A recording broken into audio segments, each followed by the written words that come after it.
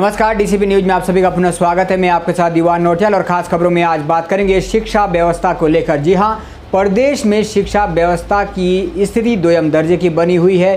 विगत कई वर्षों से अगर हम देखें तो दुर्गम क्षेत्र पहाड़ों पर शिक्षा व्यवस्था, भगवान भरोसे चल रही है। इसी प्रकरण से जुड़ा हुआ हाल ही में आपने देखा होगा कालसी शिक्षा विभाग में, जहाँ पर कि बच्चों सहित युवा नेता कमलेश भट्ट शिक्षकों की नियुक्ति की समस्या को लेकर पहुँचे थे। वहीं इसी प्रकरण से जुड़ा हुआ आज एक अन्य मुद्दा सामने आया है, जहाँ पर कि ग्राम अष्टी कालसी तहसील के ग्राम अष्टी के ग्रामीणों ने भी अष्टी में जो विद्यालय है, वहाँ पर पिछले छः साल से सिर्फ़ एक शिक्षक के कार्यरत होने की बात बताई है। ग्रामीणों ने कहा है कि इससे शिक्षा व्यवस्था दो दर्जे की हो रही है। एक और जहाँ छात्रों का भविष्य दांव पर है, वहीं दूसरी ओर प्रदेश की सरकार है कि उन्हें शिक्षा व्यवस्था की कोई चिंता ही नहीं है। आगे खबर विस्तार से। कालसी ब्लॉक के अष्टी गाँव में पूर्व माध्यमिक विद्यालय लेकर ग्रामवासियों ने अपनी समस्या बयां की है। ग्रामवासियों ने कहा है कि यह विद्यालय अक्सर बंद रहता है। पिछले छः सालों से एक ही अध्यापक के भरोसे विद्यालय चल रहा है। ग्रामीणों ने कहा है कि दूसरी ओर हाई स्कूल भी नहीं चलता है। ग्रामीणों का कहना है कि सुबह अध्यापक देहरादून से 9 बजे स्कूल पहुँचते हैं, जो कि 12 बजे छुट्टी कर देते हैं। ग्रामीणों ने कहा सत्र में इसी कारण हाई स्कूल का परिणाम ज़ीरो परसेंट रहा है। औष्टी गाँव के मूल निवासी देहरादून के डीबीएस पीजी कॉलेज के छात्र संघ के पूर्व महासचिव प्रदीप सिंह तोमर ने इसकी शिकायत खंड शिक्षा अधिकारी एवं उप जिला अधिकारी को की। इस पर संबंधित अधिकारियों ने तोमर की शिकायत को गंभीरता से लेते हुए तत्काल स्कूल का निरीक्षण किया। निरीक्षण में अष्टी के प्राथमिक स्कूल, जूनियर स्कूल व हाई स्कूल में बहुत सारी खामियाँ पाई गई। खंड शिक्षा अधिकारी ने गाँव वालों को उचित कार्रवाई का भरोसा दिलाया।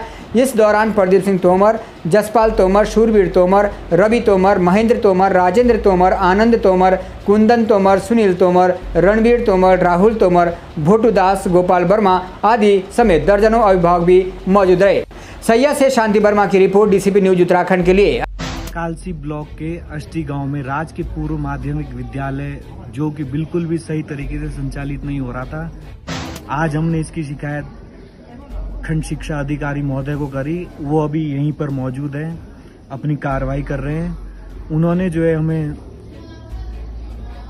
स्कूल को एक, इसमें, हाई स्कूल में एकीकरण करने का भरोसा दिलाया है और अब आगे से स्कूल अच्छे से चला, चलेगा। इसकी हम ऐसी उम्मीद करते हैं। और लक्ष्मीकांत, जो कि high school junior high school के अध्यापक थे, उनको भी उनका यहाँ से तबादला या जो भी उन पर कार्रवाई होगी, उसका भी उन्होंने भरोसा दिलाया है। एक और विषय है, मैं अक्सर देखता हूँ, यहाँ पे टीचर जो हैं, बहुत दूर दूर से, देहरादून से ऋषिकेश से, हरिद्वार से, न जाने कहाँ कहाँ से आते हैं। आजकल बरसात के मौसम में कैसे टाइम से पहुँच जाएँगे स्कूल में? कहीं सड़क टूटी हुई है, कहीं बरसात हो रही है, कहीं कुछ हो रहा है। तो सरकार को इस ओर ध्यान देना चाहिए, एजुकेशन डिपार्टमेंट को इसके ऊपर बहुत ध्यान देने की ज़रूरत है। पहाड़ों में बच्चों का भविष्य जो है, बिल्कुल अंधकार में है। यहाँ के बच्चों को कुछ बहुत ज़्यादा पढ़ाई लिखाई इनकी होती नहीं है, नहीं हो पाती इनको आता नहीं है कुछ ज़्यादा। तो ऐसे में क्या कर पाएँगे ये लोग?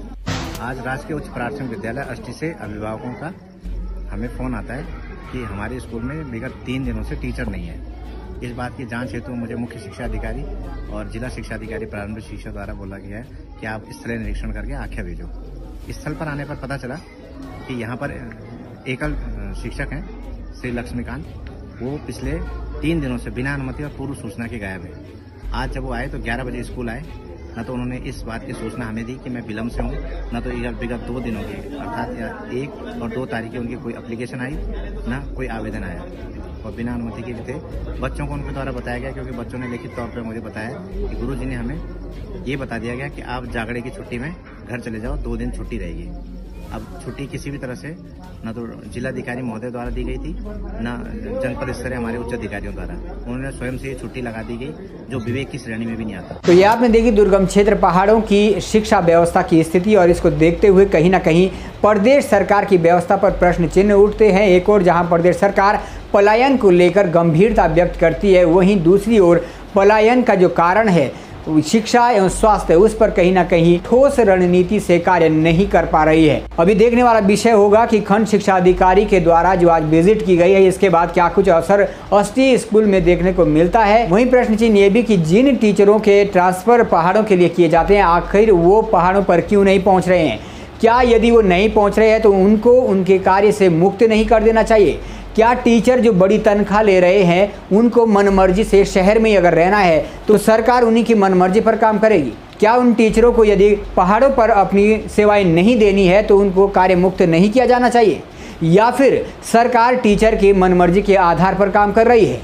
ये कहीं ना कहीं तमाम सारे प्रश्न चिन्ह सरकार पर है, लेकिन देखना ये होगा कि क्या पहाड़ों की ये दयनीय स्थिति शिक्षा और स्वास्थ्य में कब बदलेगी? प्रदेश की युवा सरकार, प्रदेश के युवा मुख्यमंत्री पुष्कर सिंह धामी क्या इस दिशा में कोई ठोस कदम उठा पाएँगे? फ़िलहाल के लिए आप देख रहे हैं डीसीपी न्यूज़ के साथ खास खबर आए के लिए बने रहेगा हमारे साथ तब तक के लिए हमें दीजिएगा इजाज़त।